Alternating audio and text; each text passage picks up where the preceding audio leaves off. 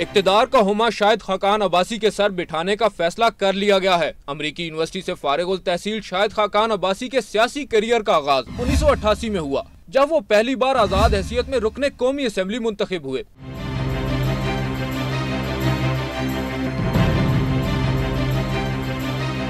उसके बाद शायद खाकान अब्बासी मुस्लिम लीग में शामिल हो गए और तब से उनका शुमार मियाँ नवाज़ शरीफ के करीबी साथियों में होता है। शायद खाकान अब्बासी छह बार रुकने कौमी असम्बली मुंतखब हुए और दो बार वफाकी वज़ीर का उनके हिस्से में आया।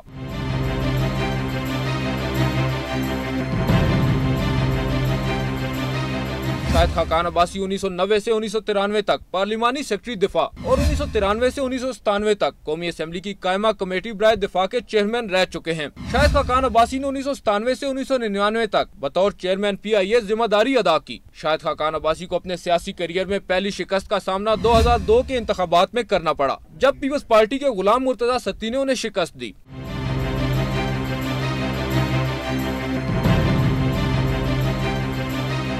शायद खाकान अब्बासी मुस्लिम लीग नून में चौधरी निसार के भी काफ़ी करीब समझे जाते हैं। चंद रोज कबल चौधरी निसार अली खान वज़ीर आज़म ऐसी नाराज़ हुए तो उन्हें मनाने का टास्क भी शायद खाकान अब्बासी को ही सौंपा गया। उन्हीं की कोशिशों ऐसी चौधरी निसार ने वजारत ऐसी मुस्ताफी होने का फैसला बदल दिया। Ahmed Adeel, Sarfaraz, twenty news, Islamabad.